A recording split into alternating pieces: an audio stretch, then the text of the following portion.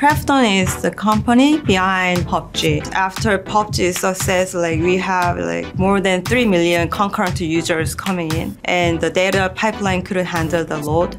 So we needed another way to build scalable data pipeline.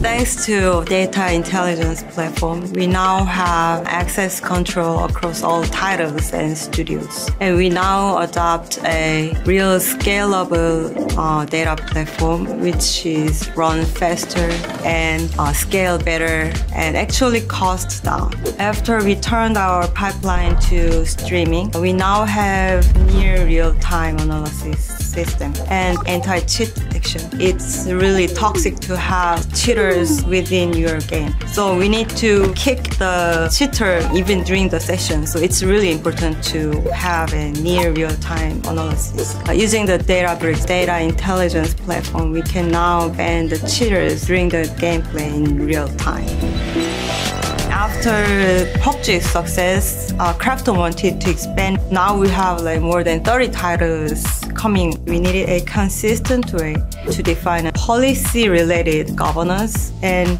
we use Databricks on that. With Unity Catalog, every titles and studios can use the same KPI logic.